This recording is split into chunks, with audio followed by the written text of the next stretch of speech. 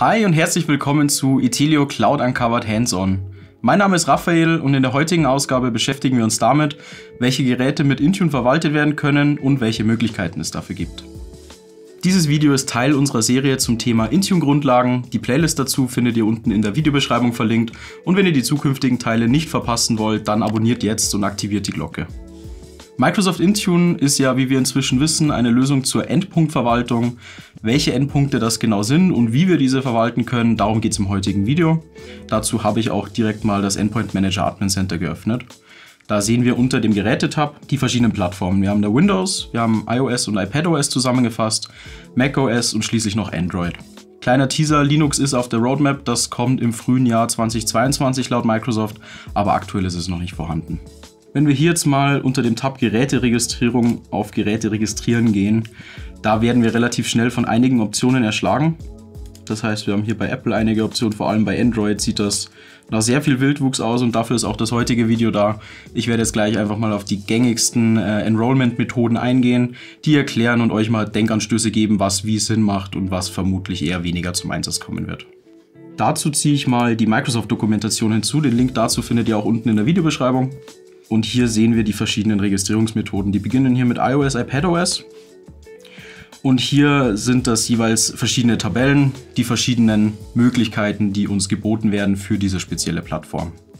Eine Sache, beziehungsweise zwei Sachen, die wir hier immer sehen werden, ist einmal BYOD, also das Bring Your Own Device, und DEM, das ist der Device Enrollment Manager.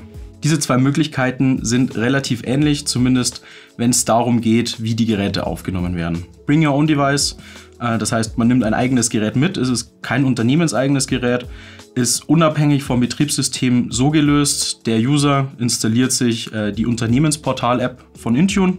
Das kann aus dem Apple App Store sein, aus dem Google Play Store oder aus dem Microsoft Windows Store, meldet sich dort mit seinem Firmenaccount an und enrollt das Gerät dann quasi als eigenes Gerät zur Firmennutzung. Bring Your Own Device.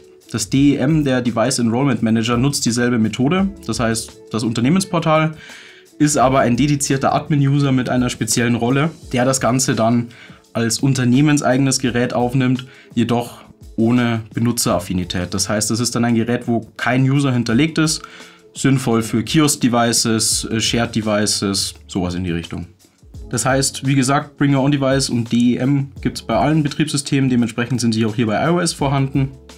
Bring Your Own Device macht dann Sinn, wenn die User eigene Geräte haben, die gehören nicht der Firma. Die User wollen die Geräte natürlich auch nicht zurücksetzen und die Daten verlieren. Dann macht das Sinn, da muss einem aber wie immer bei Bring Your Own Device einfach klar sein, ich als Admin, ich habe da nicht die volle Kontrolle darüber, was beim Privatgerät auch Sinn macht, aber ich kann eben nur beschränkt Apps verteilen, Sicherheitsrichtlinien anwenden und so weiter. Äh, die gängigste Methode beim iOS und iPadOS ist ADE. Das werden wir dann auch bei macOS nochmal sehen. Das ist das Automated Device Enrollment von Apple. Das funktioniert so, ich als Admin habe einen Apple Business Manager und kann den dann mit Intune verknüpfen und dann werden die Geräte dort automatisch aufgenommen. Kann gut sein, dass einige von euch den Apple Business Manager bereits kennen und ich finde auch, das ist so die gängigste oder die beste Option, um die Geräte wirklich voll zu verwalten, weil man als Admin dann einfach die Kontrolle drüber hat. Man kann sicherstellen, dass die User das Gerät nicht selbstständig aus der Verwaltung herausnehmen. Man kann Apps verteilen etc. Die letzten zwei Optionen sind USB Setup Assistant und USB Direct. Die USB-Varianten sind vielleicht tragbar, wenn man jetzt eine Handvoll Geräte, fünf oder zehn hat als Admin. Wenn man wirklich darüber hinaussteigt, wenn man in die 50 oder 100 der Geräte kommt, ist es irgendwann nicht mehr tragbar, alle Geräte einzeln an einen Mac anzustöpseln und so zu versorgen. Da empfehle ich dann wirklich eine andere Methode, beispielsweise eben das ADE. So viel zum iOS und iPadOS. Nächster Step ist das macOS. Und da nimmt sich es auch nicht viel im Vergleich zum iOS. Wir haben hier wieder die Möglichkeiten Bring Your Own Device und DEM. Läuft auch wieder über das Unternehmensportal. Und auch hier das ADE, sprich das Gerät ist in einem Apple Business Manager vorhanden und wird dann automatisiert in mein Intune mit ausgerollt. Für viele von euch wahrscheinlich interessanter sind die Windows-Registrierungsmethoden. Auch hier sehen wir wieder ganz oben Bring Your Own Device und DEM wieder die typische Methode, über den Microsoft Store in dem Fall die Unternehmensportal-App zu laden und sich dort dann entweder mit einem persönlichen Account zu authentifizieren für Bring Your Own Device oder eben mit einem Enrollment Manager Account beim DEM. Auch das in Unternehmensszenarien wahrscheinlich nicht tragbar auf Dauer, dass da einer mit einem Enrollment Manager Account rumrennt und sich bei jedem einmal anmeldet. Deswegen gibt es natürlich auch Methoden für die automatische Registrierung das, was hier wirklich automatische Registrierung ähm, genannt wird, das ist das, vielleicht kennt man es. Man meldet sich beispielsweise an einem Office-Programm an oder man ist in den Windows-Einstellungen, um ein Arbeitskonto hinzuzufügen. Da wird man gerne mal gefragt, ob man das Konto in die ähm, Geräteverwaltung der Organisation aufnehmen möchte. Das ist diese automatische Registrierung. Auch das eben von einem User gesteuert, das heißt, der meldet sich irgendwo an, kriegt vielleicht diese Aufforderung. Das heißt wirklich eine Automatisierung. Für mich als Admin ist es nicht. Ein User muss was machen, um so weit zu kommen. Spannender für mich als Admin sind die Optionen, mit denen ich meine komplette Rechnerflotte automatisiert ins Intune reinbekomme. Eine Option dafür ist das Windows Autopilot. Dazu gibt es übrigens auch eine eigene Videoreihe. Die Playlist Intune Windows Basics ist auch unten in der Videobeschreibung verlinkt, falls euch das interessiert. Im Grunde genommen ist das Autopilot eine Option, um neue Rechner, die ich gerade frisch gekauft habe, automatisiert ins Intune und in meine Geräteverwaltung aufzunehmen. Die nächsten zwei Punkte Massenregistrierung und Mitverwaltung werde ich jetzt hier nur anreißen. Dazu werden auch in Zukunft keine Videos kommen. Einfach aus dem Grund, da es etwas veraltete Technologien sind, will ich jetzt fast sagen. Sie werden von Microsoft auf jeden Fall als Legacy betrachtet.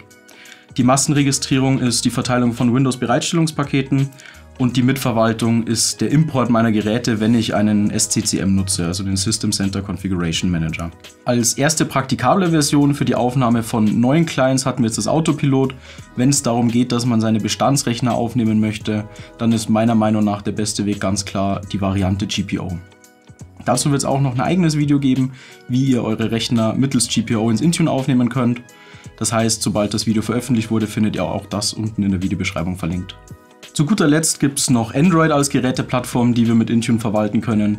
Auch hier gibt es wieder verschiedene Optionen. Das ist hier aufgesplittet einmal in die persönlichen Registrierungsmethoden, also Bring Your Own Device ist hier wirklich als eigener Block dargestellt.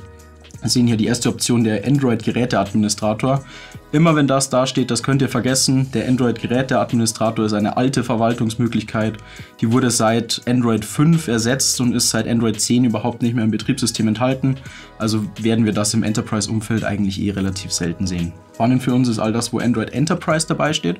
Und hier sehen wir eben die einzige Bring Your Own Device Möglichkeit für Android. Deckt sich wieder mit den anderen Betriebssystemen ist das Herunterladen der Unternehmensportal-App aus dem Google Play Store in dem Fall. Der User meldet sich mit seinem Konto an und erhält dann ein containerisiertes Arbeitsprofil, in das wir als Admins dann Apps verteilen können. Der private Bereich bleibt aber privat und den bekommen wir als Admins nicht zu sehen.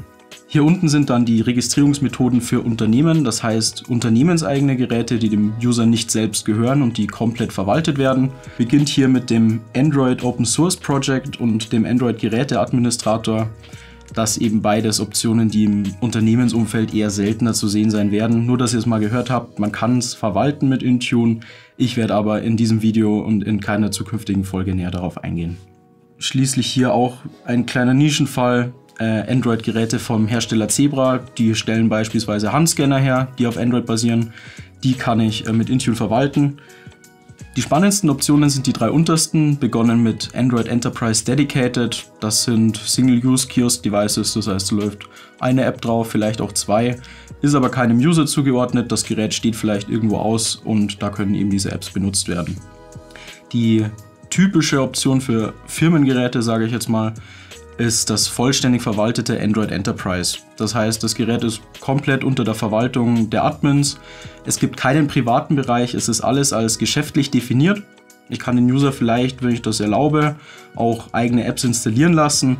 Per Definition ist es aber eigentlich so, dass es wirklich als ein Business-Only-Gerät zu sehen ist.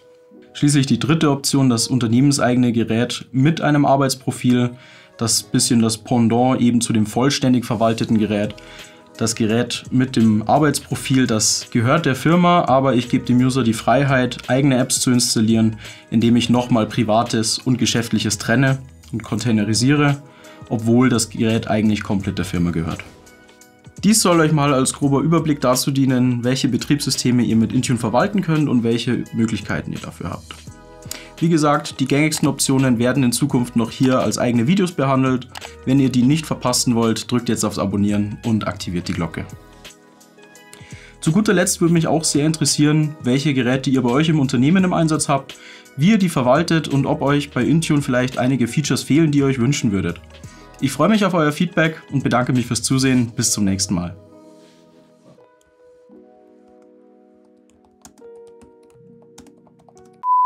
Echt, oder? Eins auch. Schau ich gut aus. Schaut super aus. Okay.